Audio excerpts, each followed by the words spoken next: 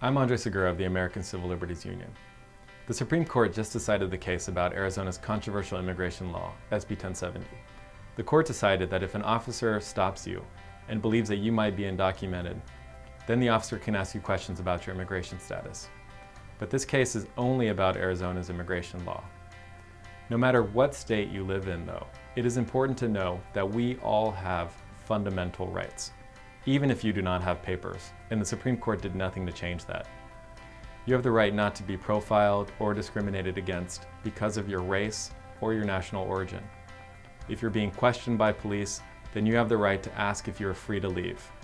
If the officer says yes, then you should do so and walk away quietly. If the officer says no, then you have the right to ask why. You do not have to agree to a search by police officers, and you should say that you do not consent to a search of yourself of your belongings, or of your vehicle.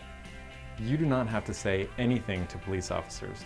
In South Carolina, you may want to give your name if a police officer asks. You don't have to, but if you refuse, it could be used as a reason to arrest you. You do not have to give your address, social security number, telephone number, or date of birth. If you're stopped while you're the driver of a car, you must provide your driver's license, registration, and proof of insurance if you have them. These rules may be different in other states. But remember, you do not have to say anything about your immigration status, or about where you were born, or about how you entered this country, because that information could be used later against you, including to even deport you. If you're arrested, say that you wish to remain silent and ask for a lawyer immediately. Do not sign anything without first speaking to a lawyer. And remember that whatever happens, do not argue with police, do not resist arrest, and never provide false documents.